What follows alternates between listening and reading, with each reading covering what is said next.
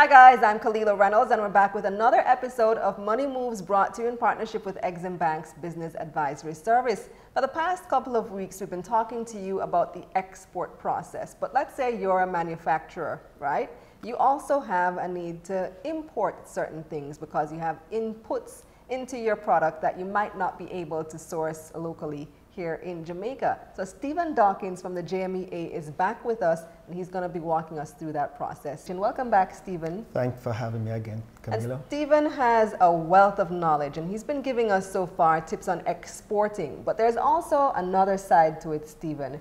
Manufacturers also need to import certain parts of the process, certain parts of the, the materials that they need to make these goods that they eventually are going to export. So, so how does that process work? Is it a lot different from the export process? Importing is far different from exporting. exporting. The process is, is very far more simpler than it is for exporting. And, and just to make it as straightforward as possible, you probably need three documents pieces of paper to import an item. Whereas to export, you need probably about eight to 10 pieces wow. of documents in order to export. But before I go there about talking about importing, it is very important to recognize that the manufacturers here in Jamaica tend to look at our local market for all their inputs before they even think about going overseas for of course. their, their, yes, because there are things that are available here. Because things are available here. So we do everything to support our local industry. But having said that, there are items that manufacturers do need to have in their input. The raw materials from, from different flavors, from different um, equipment that is required, and you know, so on. So import, imports of raw material varies considerable. If, in, if you're in beverage manufacturing, food manufacturing, whatever it is, it requires some level of import because Jamaica does not have all the necessary raw materials necessary for to get a specific product to market. So what are those three uh, forms that you need to import something? Well, generally, you, you, the person you're buying from it, you need, a, you need an invoice. Then you need the import license, and the import license varies depending on what you are actually bringing into the country to manufacture.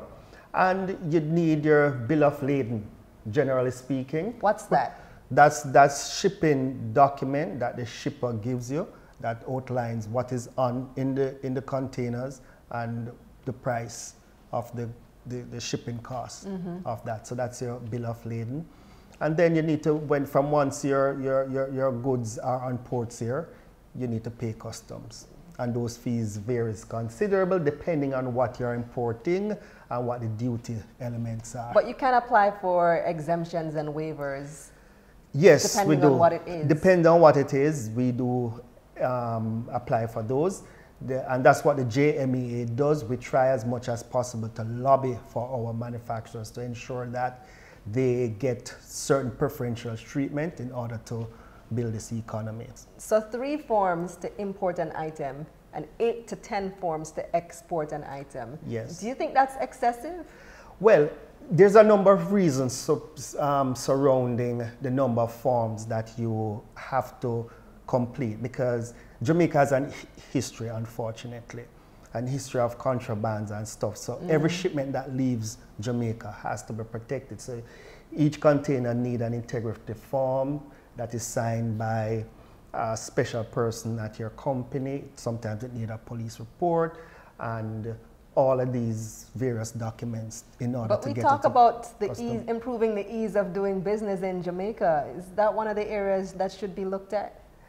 And I must say they are looking at it and it has been improving because what they try to do is more, even though it's a number of documents and a number of paperwork, what they try to do as much as possible is to improve the process. So they have, they have created now specific windows that you have everything on it. Like for example, they don't ask what the acronym is, but it's what it means is ASYCUDA system. Mm -hmm you can research that. That's custom system. Custom yeah. system that they have introduced. So you have that. So you are able to process your documents a lot faster because whereas you used to have to physically go on the port to process your document, you no longer have to do that. All that can be done online. And what they are trying to do now is to get everything online, all the processes through a trade um, information portal, all the processes, all the documentation, all the fees, everything. So you can just sit at your desk and just you know, input all that information to get your goods out. On, on average, how long does it take to get your goods into the country and out of the country? Well, um, transit time depends on where you're coming from, right, into Jamaica. The thing is that from once the container lands at port, it can be a same day, a same day element because the, core, the, the port, uh, the customs also facilitate uh, same day service in that all the containers are not necessarily stripped on port. It's sometimes randomly checked and you know go to your warehouses and stuff. But from once all your paperwork are fine, is same day. If it's not fine, it takes it can take as long as you process your right. your paperwork. And on the export side?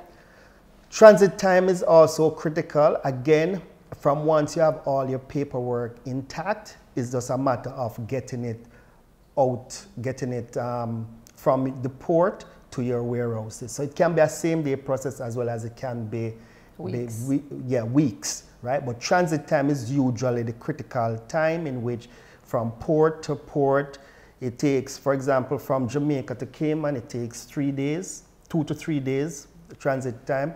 From Dominica although to Dominica, although it's in the Caribbean, it takes up to three weeks because there's only certain shipping lines that go to Dominica. I see. And that is it. So, so it's a lot of transshipment that happens. It go to Miami, then come down into the Caribbean and go make a number of stops before it actually reach a particular destination. Mm. So it varies considerably. So that's a case for the logistics hub that yes. we had been hearing about. Absolutely. Whatever happened to that? Thanks again, Stephen, for joining us. Thank Stephen so Dawkins much. is with the Jamaica Manufacturers and Exporters Association.